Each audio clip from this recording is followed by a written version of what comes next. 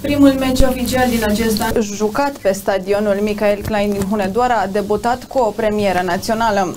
Un roboțel realizat de către trei elevi ai liceului teoretic Traian Lalescu, pasionați de robotică, a dat lovitura de începere a meciului dintre Corvinul și ACS Târgu Mureș.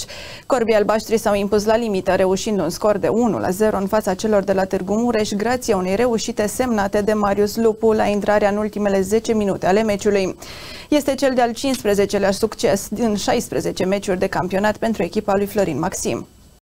Lovitura simbolică de start um, este astăzi succes inedit pentru fotbalul românesc. Așadar, lovitura de start va fi dată de un roboțel. Poartă numărul 30 și numele lui Mișa și este primul robot din România care dă startul unui astfel de meci de fotbal. El este creația lui Daniel Socoteanu, Ianis Iacov și Levente Madaraș, elevii clasa a noua a liceului teoretic Traian Lalescu din Hunedoara viitori membri ai echipei Robotics Hunedoara, multiplă campioană mondială în competițiile de robotică, echipă care este coordonată de profesorul Mircea Nistor.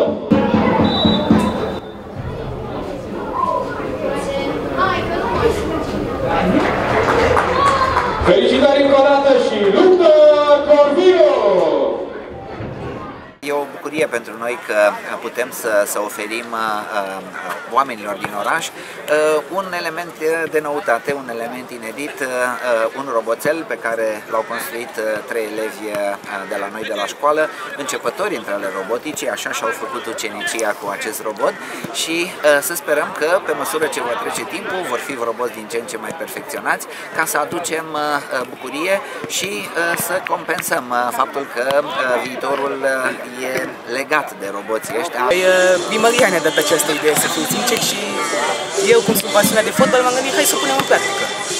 Cât uh, a luat propriu zis să-l faceți? Cam așa, 4 luni, dar n-am fost zilnic, am avut și școală în timpul ăsta. Dar, am, da, 4 luni. Care a fost poate partea cea mai challenging, dacă vreți? Aș putea spune că programarea a fost cea mai uh, grea de făcut, dar și construcția am, am, am întâmpinat dificultăți, mai ales așa sunt. Păi, și roțile au fost o problemă, ne-am gândit la ele, unde mult le-am pus, pentru că am avut alte roți profesori până acum, dar până la urmă ne-am să le lăsăm pe acestea, vreau cele Da, da, da, da, dar cu șasiuni am chinuit cel mai mult, pentru că nu, nu, nu reușeam să facem să iasă bine, să iasă ca un păcat.